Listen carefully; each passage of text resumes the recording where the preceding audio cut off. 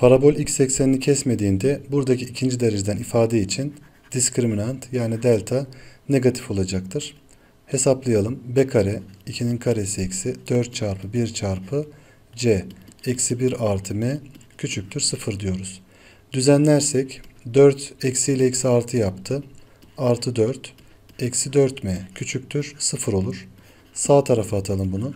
8 küçüktür 4m'den 4'e böldüğümüzde m büyüktür 2 olur. Bunu sağlayan en küçük m tam sayısı 2'den büyük olan 3'tür. Doğru cevap C'dir.